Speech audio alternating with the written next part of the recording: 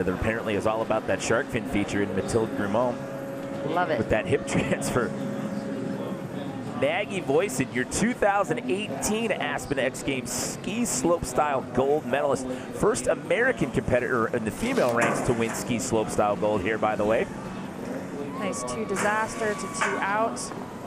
Keeping things rolling, getting a little caught up on that rail. And into the jumps here. Right side 720. Not quite making it to the money spot on these landings. There's the left side, nine, tail grab, coming in switch over the left shoulder, getting the nine, and here we are in this bottom shark fin. Sweet. Clean rodeo five, getting a little inverted for the fans out there.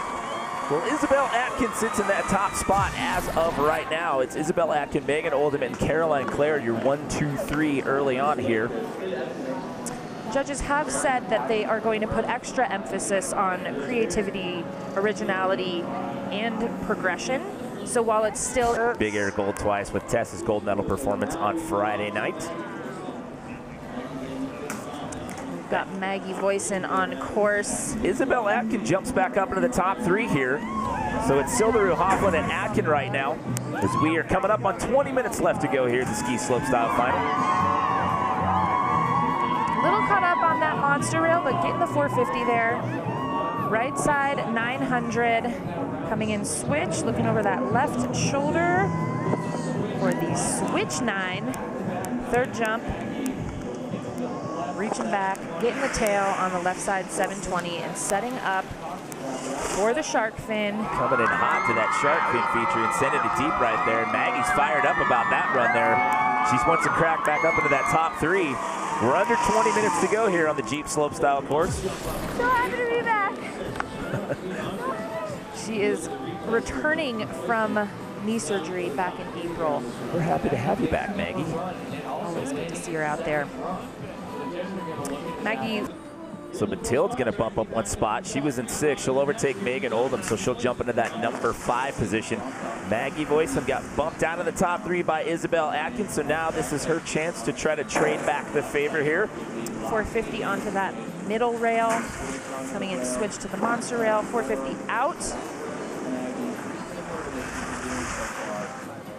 Right side 540 mute grab. Getting it clean. There's the switch seven. Switch left nine. And let's see if she mixes things up here. We've seen the rodeo five, doing it again, beautiful trick. But again, judges are gonna look for that variety, changing things up. So we'll see if this time she can bump in front of Isabel Atkin once more. Switch into that monster rail.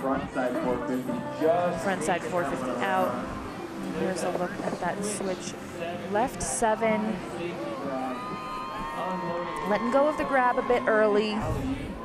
And there's that rodeo five again at the not easy to do. So with three skiers left to go and them all being in the top three, that means we are going to have a repeat here. Our top three are going to be in the top three again in 2020. The question is, what position are they going to finish out in? It's Sildaru, Höfflin, and Voisin. Maggie Voisin on course right now.